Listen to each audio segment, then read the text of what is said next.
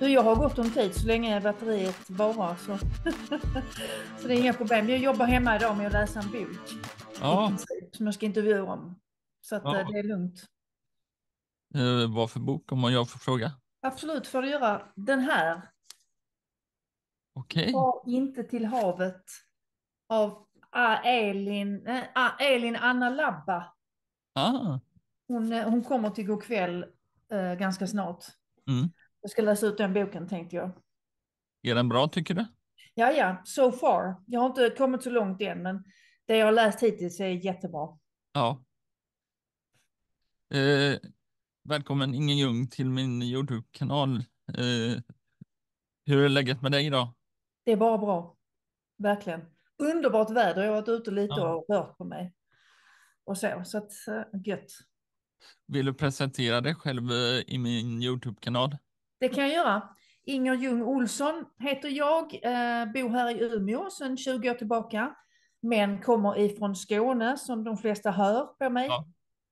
Jobbar på eh, SVT, har gjort det länge. Och just nu så, eh, sedan ganska många år tillbaka så är jag programledare på Go'kväll. Mm. Eh, hur känns det att jobba på Go'kväll? Det känns jättebra. Det är ett väldigt trevligt program och jättetrevliga kollegor. Mm. Och kul. Vi sänder ju fem dagar i veckan så det händer ju saker hela tiden. Ja, Massvis med folk som kommer och bra musik och god mat och allt sånt. ja. Det, det är bara bra. Vill du presentera dig själv för lyssnarna i min Youtube-kanal? Ja, det gjorde du precis. Jag kan göra det igen. Ja, ja, ja, du. Förlåt. Ja, Gör ingenting. okej. Eh, hur ser en vanlig dag ut för dig? En vanlig dag eh, är ju inte idag då eftersom idag har jag jobbat hemma Ja, med att eh, liksom läsa. Eh, däremot så brukar jag vara på jobbet halv nio. Mm. Och vi börjar med ett morgonmöte och sen sätter man sig in i de sändningar man ska göra. Så man läser eventuellt böcker, läser på om personer där man ska träffa. mm. Ehm, alltså planerar framåt helt enkelt.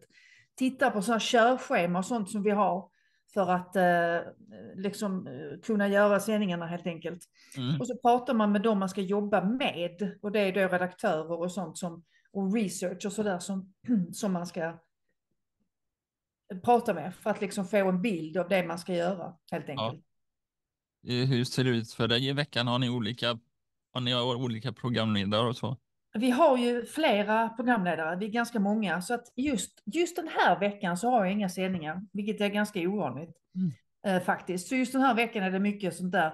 Jag har möten, jag har liksom, eh, jag ska läsa på, jag ska hålla på med sånt, läsa på inför nästa vecka när jag Mm. sänder. Så att eh, just den här veckan är lite lugnare.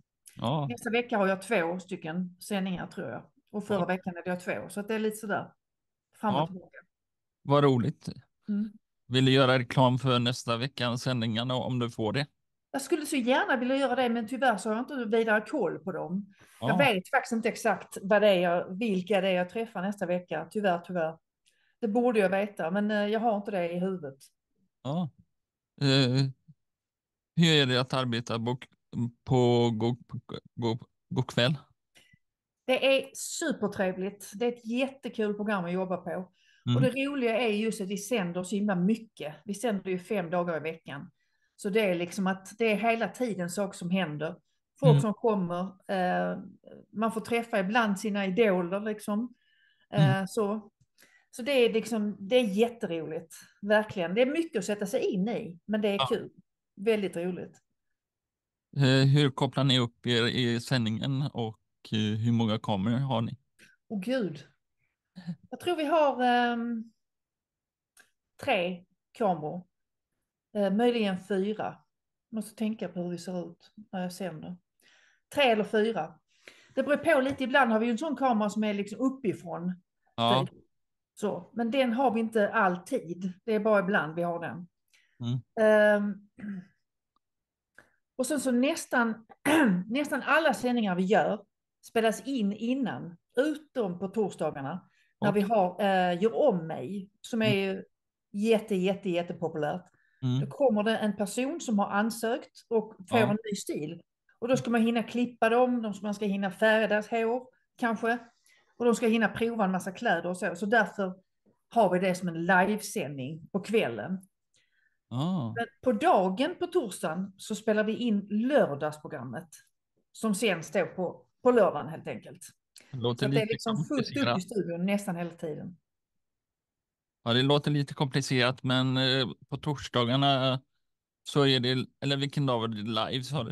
Live är torsdag kväll. Ja, okej. Och så annars spelar vi in några timmar innan. Utom på lördagarna, för den sändningen spelas in på torsdag dag. Typ. Ja, okej. Eh, får ni ha mobilen med er in i studion? Ja, det får vi. Men den måste vara avslagen. Ja, så det inte ringer. Ja, precis. Så är det. Eh, har du något favoritämne i studion eh, och hur delar du upp det? Oh, favoritämne. Ehm, jag tycker det är väldigt kul att uh, ni gör om mig. Det är roligt att se liksom den förvandlingen på en människa som, som kanske kommer och är liksom ser jättetråkig ut. Eller Mm. har liksom superfult hår eller någonting sånt där och klär sig helt hopplöst. Och sen så då under dagen så får de massor med tips och får liksom en ny frisyr, oftast, nästan alltid. Och det blir ofta väldigt, väldigt bra, eh, verkligen. Så det tycker jag är kul. Och så tycker jag alltid det är roligt också att intervjua människor som har gjort någonting spektakulärt, Ja. naturligtvis. Tycker jag är kul. Eh, hur går det till? Ja, du sa att man skickar in ansökningar om man ska göra om sig och så eh, resereportage brukar du också göra, eller? Ja, det har jag gjort mycket eh, förr om åren. Inte precis just nu så gör jag inte det så mycket. Men jag har varit runt, jag har varit i USA, jag har varit i Italien, Frankrike, Island. Eh, så, så jag har varit runt lite grann och gjort. Eh, Danmark, Österrike. Så. Just nu gör jag inte så mycket av det och det är av andra skäl liksom. Så. Men eh, det kommer jag att göra igen. Så jag ska Ja. planera det nu tänkte jag till, till sommaren. Tänkte Ja. sätta mig och liksom planera det lite grann och se vad som skulle kunna bli nästa resa. Ja, vad roligt.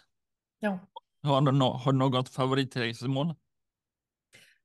oh ja. ehm, jag gillar ju verkligen USA.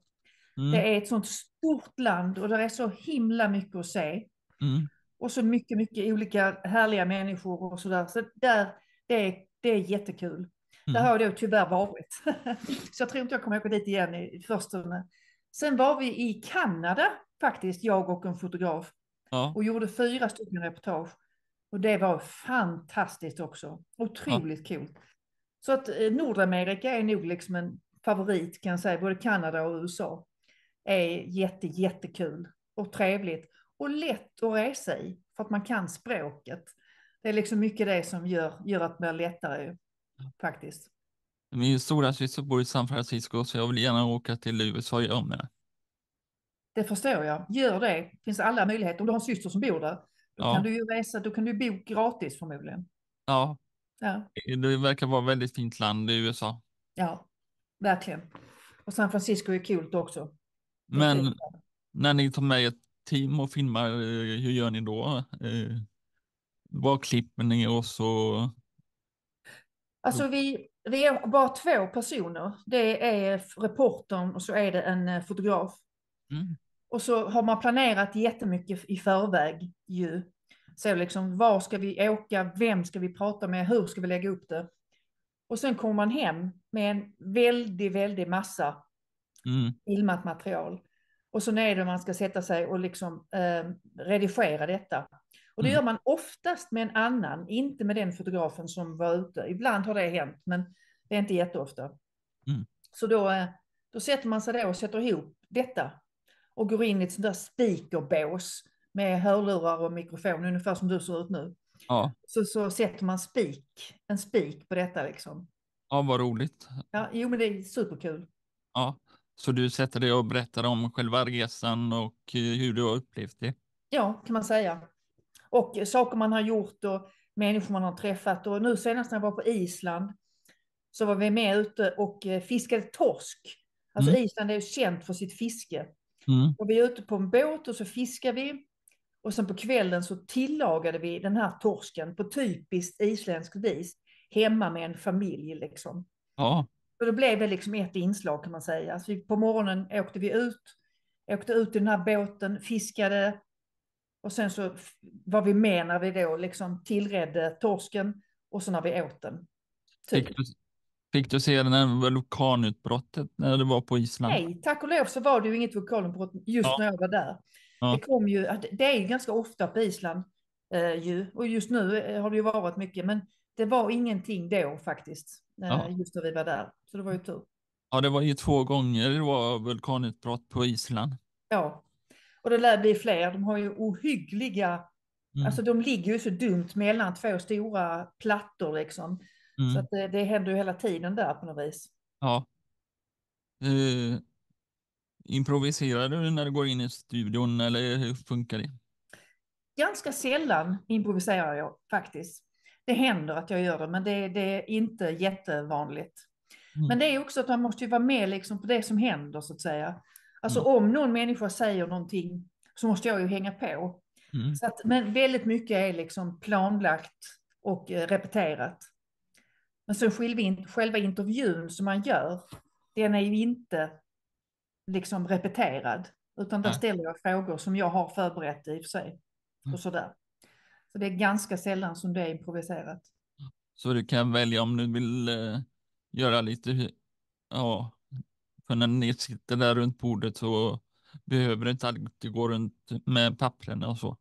Nej, jag försöker att titta så lite som möjligt i papperna. De är mer, mer som ett stöd, Mm. typ. Har ni promptar och så också som ni går?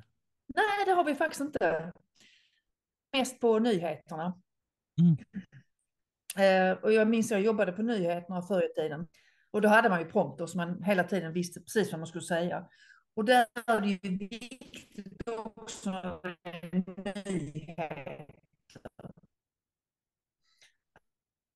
Att det ska bli rätt. Liksom. Det ska vara Ja. rätt årtal, det ska vara rätt. Då har man ju sin... Nu är min eh, internetanslutning instabil. Ser du mig fortfarande? Hör du mig? Ja, jag ser dig. Ja, men- är hackar bra. till lite. Jo, är det någonting så då tittar jag i mina papper så att det blir rätt liksom. Sådär. Ja. Men, men eh, prompter har vi inte. Okej. Eh, har du gjort bort dig i direktsändning eller någonting där? Nej, på det viset är jag lite tråkig. Jag har faktiskt Det hackar lite. För jag är oerhört eh, välrepeterad och, och eh, jag har försökt tänka liksom, har jag gjort bort mig någon gång? Men jag kan inte komma på någon gång. Så att nej, jag tror inte det. Eh, vad, Tråkigt svar, I know. eh, vad krävs för att bli en bra journalist? Som du? För att bli en bra journalist så tycker jag väl det krävs eh, inte så mycket en utbildning.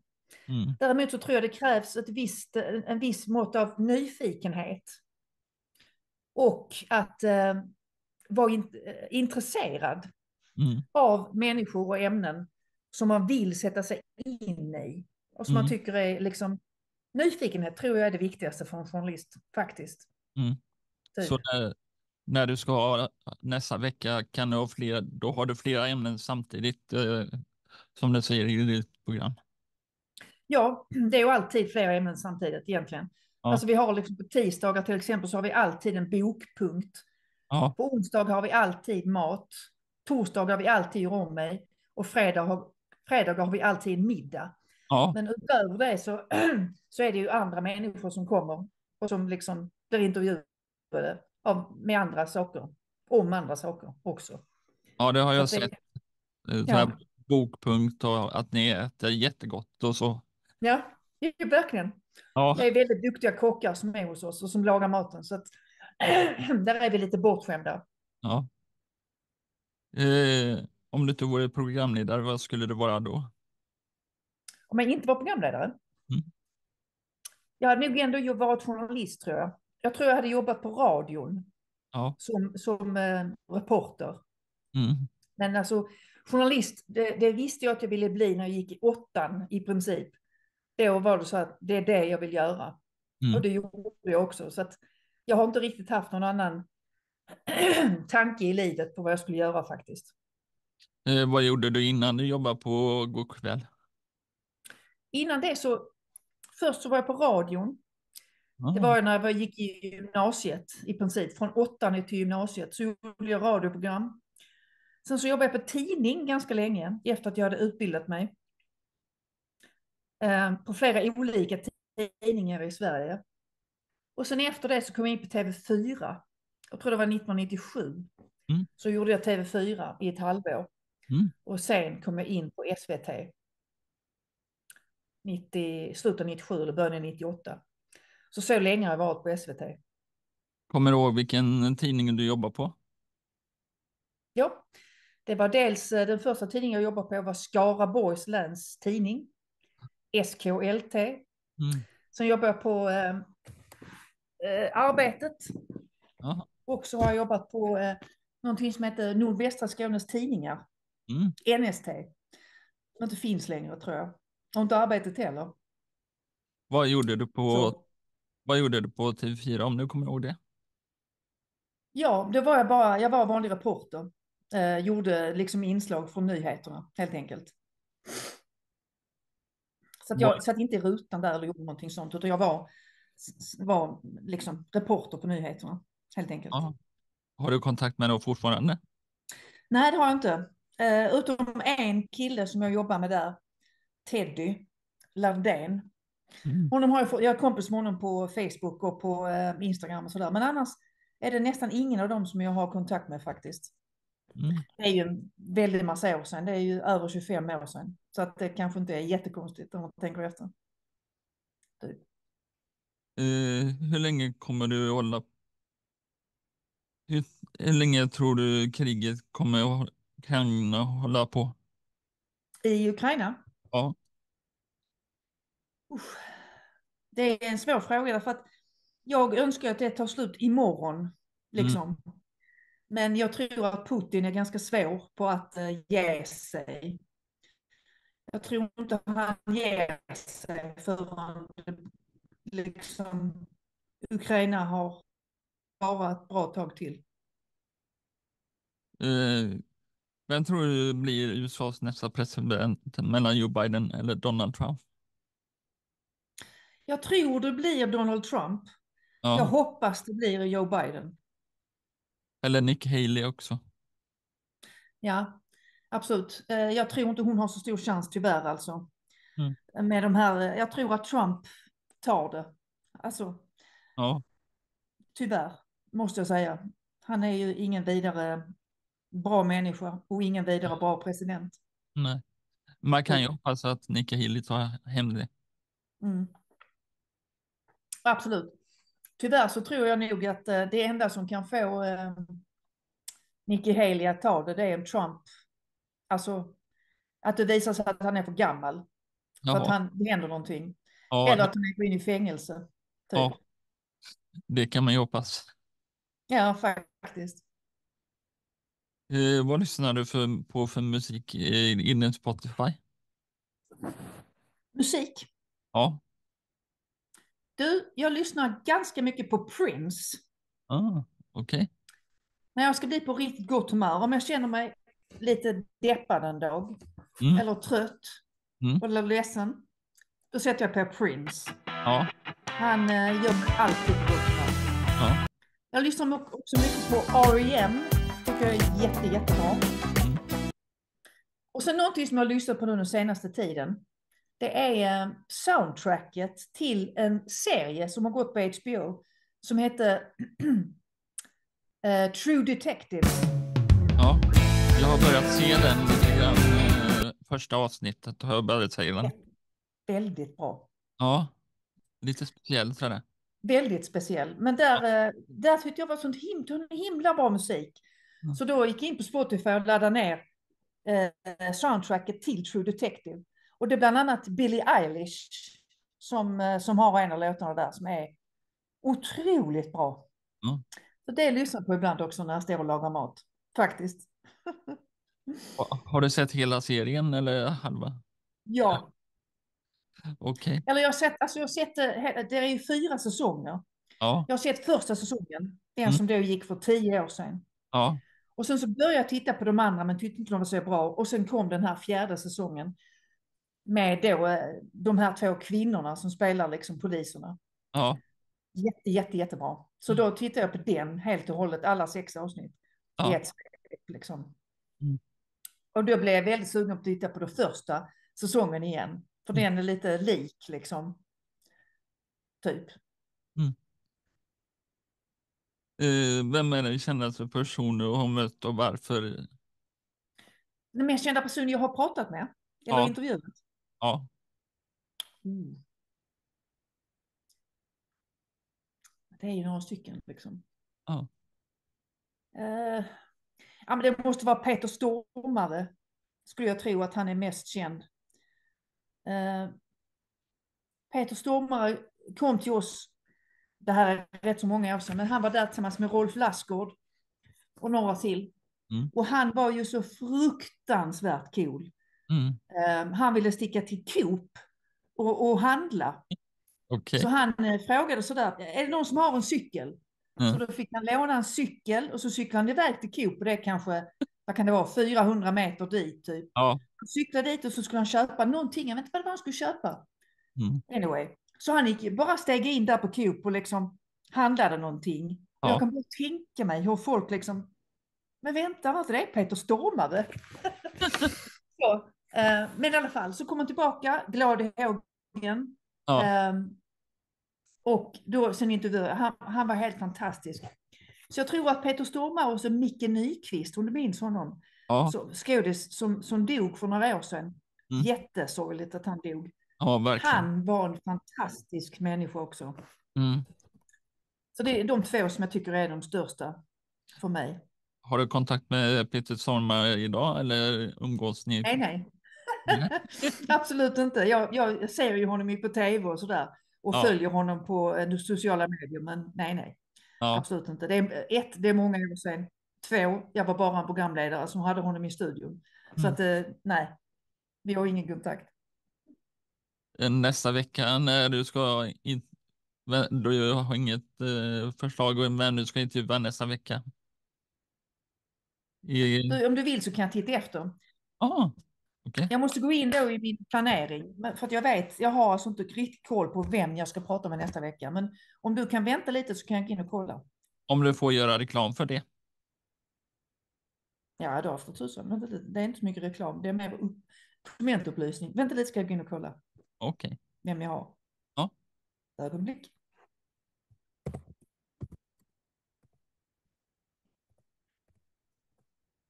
Nu ska vi se. Den jobbar. Mm. Då ska vi se vad vi har nästa vecka. Det är mars nästa vecka va?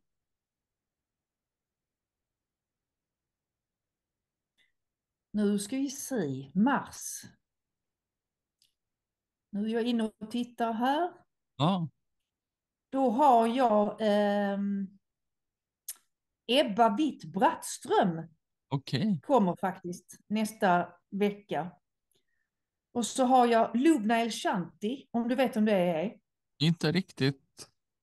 Hon jobbar alltså ehm, som eh, eh, korre för radion. Mm. Så hon kommer. Och så kommer dessutom Elin Anna Labba. Och det Ja. var ju henne, hon som har skrivit den boken som jag eh, sitter och läser nu. Ja, Hon, som, hon fick Augustpris för några år sedan. ja, Och nu har hon då kommit med sin första roman, Far inte till havet. Ja. Ebba Brattström är med i muren. Hon är med i vad? Eh, muren som går på SVT. Ja, det är hon. Just det, det har du rätt i. Det har jag, jag brukar faktiskt titta på Muren. Ja, Eh, jag tycker det är ett bra program. Eh, Ja. Just det. det går ju på helgerna så det är väldigt Ja, just det. Visst är det på, är det på lördag kväll eller vad är det? Eller Ja. fredag kväll? eh, lördag tror jag och så Kattis Ahlström är programledare. Just det. Just det. Väldigt bra, tycker jag. Spännande. Jättefint. Och svårt. Framförallt med han den här eh, rymdsnubben. Det är ingen Ja. som tar honom. Nej, Marcus Wandt eller? Just det. Nej, jag tänker inte på Marcus Wandt.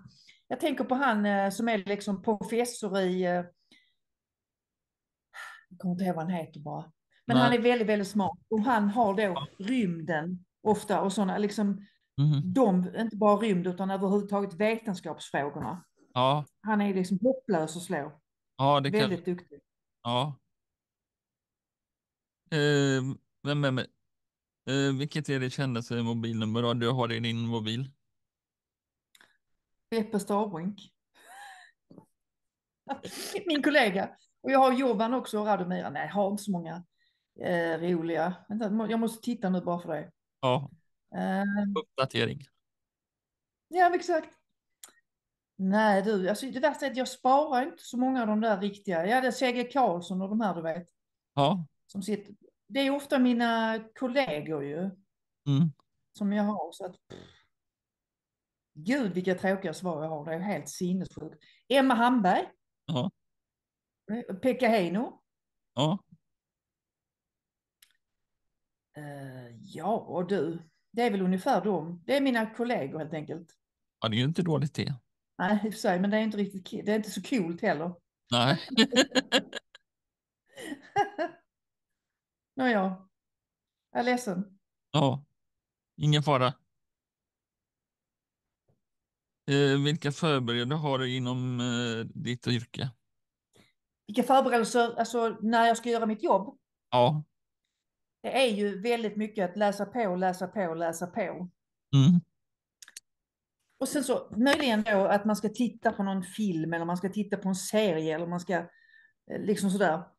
Och sen så googla runt överhuvudtaget brukar jag göra ganska mycket. Så om jag ska träffa en människa så vill jag veta så mycket som möjligt om den här människan. Mm. Typ. Så det, är, det är jättemycket bara att läsa på i största allmänhet. Liksom. Dels den där researchen som vi får. Eh, när vi har en gäst så har vi en researchmänniska på redaktionen som har pratat med dem. Så vi får liksom en, en, en lunta research. ja, vad bra. Sen utö- ja, det är väldigt bra. Och sen utöver det så, så googlar jag runt liksom och kollar själv lite grann. På allt jag kan. Eh, lyssna på musik som den här människan har gjort till Mm. exempel. Eller något sånt. Har du någon musikgäst om du, tar, du ska intervjua nästa vecka? Nej du, det har jag inte nästa vecka. Förra veckan dock så hade jag Uno Svenningsson. Han är kanon. Ja, han är jättebra. Otroligt trevlig och skön människa. Ja, just det. Det såg jag när du intervjuade, eller han var med där och så han ja, spelade. just det. Det var ju i fredags va? Ja, Just det. Jo, det var han med så att det var kul. Han har ju varit gäst tidigare också faktiskt med mig. Ja, Han har varit på kväll ganska många gånger. Det finns ju vissa som återkommer. Jill Johnson är en sån som kommer många gånger. Peter Jöback har Oj. varit hos oss väldigt många gånger. Så Mm. vissa av de där som kommer ofta behöver man liksom nästan inte ens läsa på. Utan Mm. det är bara, just det, gött, nu kommer de Ja. igen. Härligt. det är härligt. Ja. Eh, Hur laddar du inför en direktsändning? Inför en direktsändning, Ja, där gäller det ju, det gäller liksom att vara, känna sig påläst. Mm. och liksom dricka kaffe så man är pigg och vaken. Men en sak som jag gör alltid innan en sändning, Mm. eh, det är att jag tar en chokladbit Mm. eller en godisbit. Så Ja. att jag har liksom lite energi. Eh, Så. Det är viktigt att äta innan, men inte för mycket så att magen liksom bullrar och har sig. Utan det ska vara lagom. Men jag tar gärna en chokladbit innan, så att jag känner att jag får lite så extra swoosh. Är det sent på kvällen för, så att det på olika tider? De Nej men alltså, eh, eh, eh, vad heter det, programmet sänds ju alltid kvart i sju till halv åtta. Mm. Så att eh, enda gången då som det är sent, det är ju på torsdagarna när vi sänder direkt. Mm. Då, är det, då är vi där till klockan åtta på kvällen. Liksom. För att efter sändningen så är det ofta att man ska snacka lite. Man ska liksom sätta sig ner och prata ihop. Efter sändningen pratar vi som har jobbat. Hur gick det? Vad gjorde vi? Blev det bra? Varför blev det inte bra? Lite sådär. Så att eh, det blir inte så sent annars. Nej. Fredagarna kan bli ganska sena, Ja. även om vi spelar in innan. Därför att då har vi musikinspelning på dagen. Eh, och då ska de spela in musiken så ska den vara färdig så att säga när vi väl sätter igång. Så då är man inte hemma förrän, man går inte från jobbet förrän vid fem Okej. På den dagen ungefär. Ja, det har jag för mig. Jag har sett att de spelar in musiken innan och så går det jättefort kameran så. Ja, ja precis. Och förr i tiden så hade vi alltid musiken liksom live i programmet. Ja, Så då satt ju vi som jobbade, vi satt där och var publik, typ. Och så fick de spela då och så, sådär. Men sen så av någon anledning så ändrades det. Jag vet faktiskt inte riktigt varför. Men nu spelar vi in programmet, eller vad heter det, eh, musiken innan. Så att det blir riktigt bra liksom sådär. Och så, eh, så är det som ett inspelat band liksom. Typ. Ja. Men vi applåderar ändå efteråt. För att de ska känna att ja, yes. ja. Eh, när blir du senast Starstruck? Starstruck, oh. När blev jag det senast? Jag blir ju inte det så ofta förstår du, för att jag träffar så himla mycket sådana där personer i mitt arbete. Ehm. vilken bra fråga. Och svår. Ja. Uno Svenningsson kanske? Vad heter han? Uno Svenningsson? Nej, jag blev inte starstruck av honom precis, för jag har träffat honom innan. Det var Aha. mer bara att det var trevligt att träffa honom. Men att bli starstruck, det är mer att man liksom bara wow, nu Ja, blev jag lite nervös nästan. Så vad kan det vara? Jag tror jag blev lite starstruck av, eh, eh, eh, vad heter han nu då? Ah. Save tonight. Eagle Eye Cherry. det? Tack, Eagle Eye Cherry. Honom Ja. blev lite starstruck av, det tror jag. Det Mm. var ett tag sedan han var gäst, men då blev det så här, wow, Ja, han är cool och han är duktig. mm. Så. Han är väldigt cool. Ja, det är han. Mm. Och så fruktansvärt trevlig. Ja. Ja. Eh, vad är du mest stolt över i din journalistkarriär? Hmm. Jag tror nog att jag är mest stolt över att jag har lyckats hålla mig som programledare så pass länge som jag har gjort. Mm. Eller att jag har jobbat på SVT i 25 år. Eh, Så det är jag nog ganska stolt över. För det är inte, det är inte helt givet att komma in där ens. Och att hålla sig kvar där ganska länge, Mm. känns, eh, det känner man nog ganska stolt över. Typ. Eh, vad händer mer framöver för Inge Ljung? Ja du, vad händer? Hej Daniel. Gött. Jag kommer. Jag kommer min son hem. Okej. Um, vad var nu frågan? Förlåt. Eh, vad händer mer framöver för Inge Ljung? Framöver? Ja men du, alltså nu gäller det på något vis att eh, nu så ska jag nästa vecka, nu ska jag jobba resten av veckan på jobbet tänkte jag. Mm. Eh, och läsa på en massa inför nästa vecka. Och sen är det bara till att fortsätta jobba på Mm. liksom fram till semestern. Och så förhoppningsvis planera lite resereportage. Hoppas jag kunna göra. Ehm, så det är väl det. Det är bara liksom fortsätta att bita tag i eh, kväll. Liksom så. Eh, jag har något som heter Fem snabba till Inge Ljung. Eh, kaffe eller te? Kaffe. Journalist eller programledare? Journalist. Tror jag. Facebook eller Instagram? Facebook. Sommar eller vinter? Sommar! Big time! Oj, jag bor på fel plats. Eh, vardagsrum eller studion?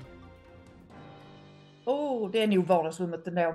Där man kan slappna av lite och vara osminkad. Eh, vinyl eller Spotify? Spotify, men det säger jag bara för att jag inte har någon vinylspelare. Jag har en farlig massa vinylskivor, men ingen spelare. Okej. Typ. Men Spotify är bra, för man kan ta med sig det liksom alltid. Lite så. Jättefint. Eh, jag ska bara hämta min eh, coach eh, där borta, om det går bra. Japp. Tack, Tack. så mycket Carl Magnus. Det var Ja. jättetrevligt att få prata med dig. Ja. Och så tack så jättemycket. Det var jättekul. Detsamma. Verkligen.